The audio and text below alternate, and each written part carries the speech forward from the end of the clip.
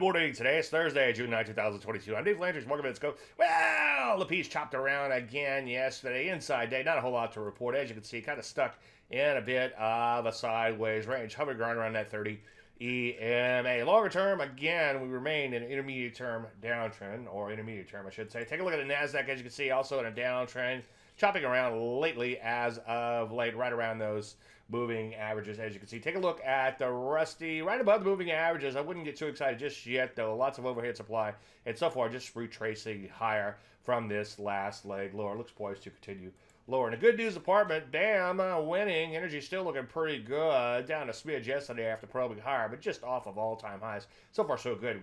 We could see a plethora of setups there really soon. A lot of areas, though, again, remaining in downtrend. Software, retail, biotechnology, list goes on and on. Transport's got whacked fairly hard yesterday, as you will see in one second.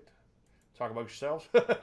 You see, getting whacked into here. So far, a choppy downtrend raids attack. So what do we do? Well, continue to focus on stronger areas, which is pretty much energies, and look for some shorting opportunities. Any questions? Usual, Dave. I'm Dave Landry. You start the market a little bit more than a minute. Oh, chart show tonight. Hope to see you there.